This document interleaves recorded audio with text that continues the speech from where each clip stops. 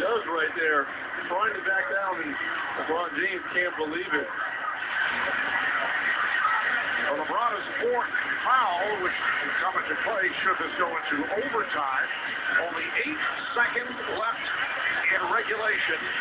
In a Chicago ball, they just used their final timeout. But what's important here now, with no timeouts left for Chicago, getting the ball in, that's going to be critical for them. Got to get it in. I would expect Korver and Brewers to be back in the ball If you've got spread the floor and let Rose create something, LeBron James will be guarding. And the question is, you put him in a pick and roll situation where I would expect Joel Anthony to be on the floor as well to protect the rim. Now, the worst case scenario, you've got to take the last shot. But if you bring up a pick and roll, because of the Miami Heat defense is so good, and their length because they're tall right now, it's going to be very difficult. If I'm Derrick Rose, I do that same isolation with LeBron James, but this time you've got to use your quickness to get by LeBron and make something happen with that interior defense of Miami Heat.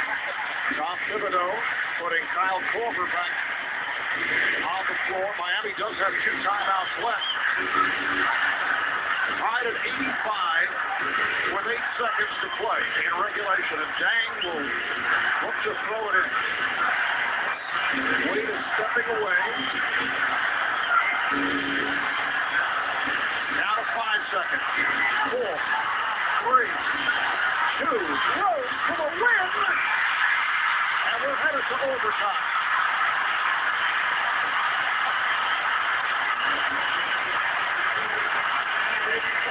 Overtime in Miami with